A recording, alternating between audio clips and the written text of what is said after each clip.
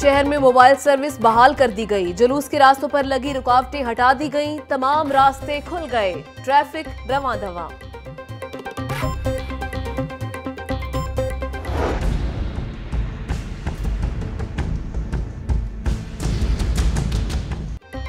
محرم الحرام کے جلوسوں پر سیکیورٹی کے فول پروف انتظامات۔ مرکزی جلوس کی سی سی ٹی وی کیمروں سے نگرانی کی گئی۔ پندرہ ہزار اہلکار سیکیورٹی پر معمور رہے۔ Safe city authority, D C office, secretariat میں قائم کنٹرول روم سے کڑی نگرانی کی گئی۔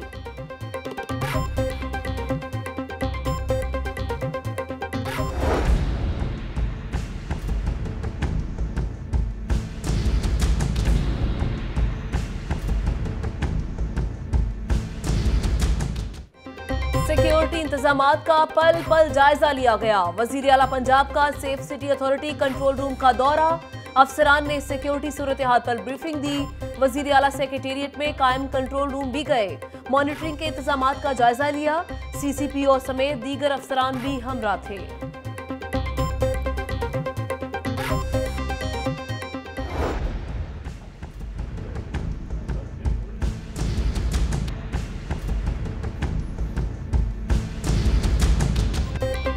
دس محرم کے جلوس کی سخت نگرانی۔ صوبائی وزیر میاں اسلم اقبال، ڈاکٹر یاسمین راشد کا مختلف جلوس کے روٹ کا معائنہ، سیکیورٹی کے انتظامات کا جائزہ لیا۔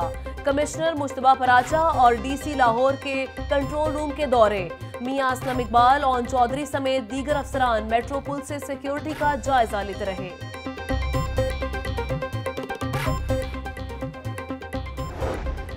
ضلعی انتظامیہ اور محکمہ صحت کی جانب سے یوم عاشور پر خصوصی انتظامات۔ ڈیزاسٹر رسپانس فورس الرٹ رہی۔ شہر میں پچاس ایمبولینسز دو سو چھیاسٹھ موٹر بائک ایمبولینس اور نو سو ریسکیو ورکرز ڈیوٹی پر معمور۔ عزاداروں کی فرسٹ ایڈ کے لیے خصوصی پوسٹیں قائم تھیں۔ شہر کے بارہ ہسپتالوں میں ایمرجنسی کی صورت میں انتظامات۔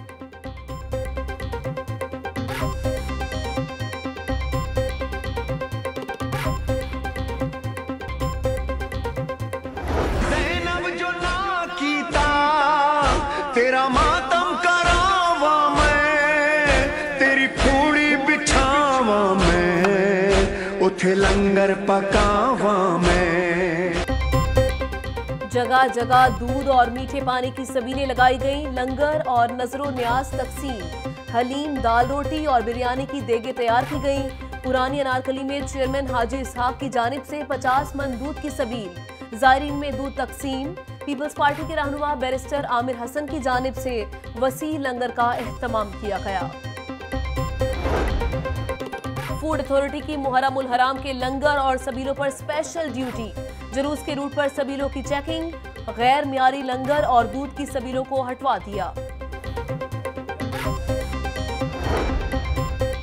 ایک اور صوبائی وزیر کو قلمدان مل گیا۔ ڈاکٹر اختر ملک کو محکمہ توانائی کے وزیر بنا دیا گیا۔ وزیر اعلیٰ کی منظوری کے بعد نوٹیفیکیشن جاری۔ اختر ملک کو دوسرے مرحلے میں حلف اٹھانے کے بعد محکمہ نہیں دیا گیا۔ گڑی شاہو میں چوری کی بڑی واردات۔ چور گھر کا دروازہ توڑ کر لاکھوں روپے مالیت کا سونا، چاندی اور نقدی لوٹ کر فرار ہو گئے۔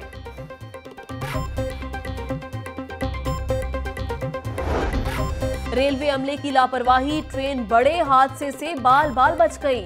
رائے ریلوے اسٹیشن کے قریب ٹرین کی دو بوگیاں پٹری سے اتر گئیں۔ بر وقت کانٹا تبدیل نہ کرنے سے حادثہ پیش آیا۔ موجزانہ طور پر کوئی جانی نقصان نہیں ہوا۔